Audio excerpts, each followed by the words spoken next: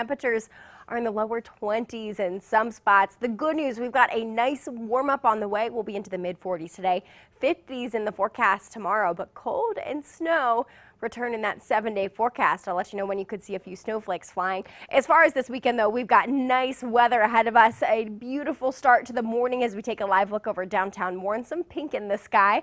Temperatures, the big story as we're starting the weekend, at lower to mid 20s in some spots. Mesopotamia sitting at 27, Beloit at 25.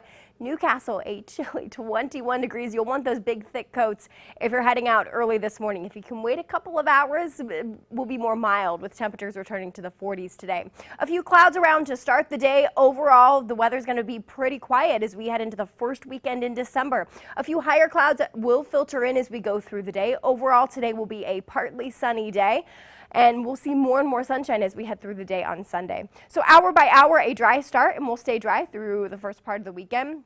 Clouds increasing as we head into the afternoon with temperatures climbing into the mid and upper 40s, a couple degrees above average for this time of year. We'll stay quiet through this evening and overnight just a few clouds as we head toward first thing Sunday morning. Again, staying dry through the weekend. 30s to start if you're heading out very early. Most spots right around that 30 degree mark. You'll want those thick coats again to start the day. You'll want your sunglasses as we head into the afternoon. A bright, mostly sunny day with temperatures climbing into the upper 40s. I think some spots will hit that 50 degree mark into the afternoon. Quiet weather continues into Sunday night, and we've got a quiet start to the work week. The Monday morning commute looking like a breeze, but let's not think about that yet. Let's talk about your weekend. 46 today, partly sunny skies.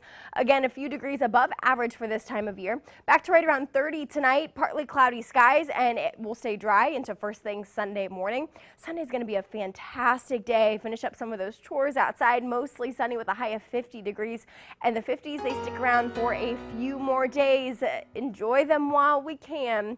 Uh, lower 50s on Monday, partly sunny skies. A late Monday into Tuesday, we'll be watching for rain showers to start to push into the valley. Tuesday is going to be a soggy day with highs into the lower 50s and then It'll start to feel a little more like winter. 33 on Wednesday, chance for snow showers. Overnight lows as we head into the second part of next week are back into the teens upper 20s for highs on Thursday. We'll be watching for snow chances as we head into the second part of the week.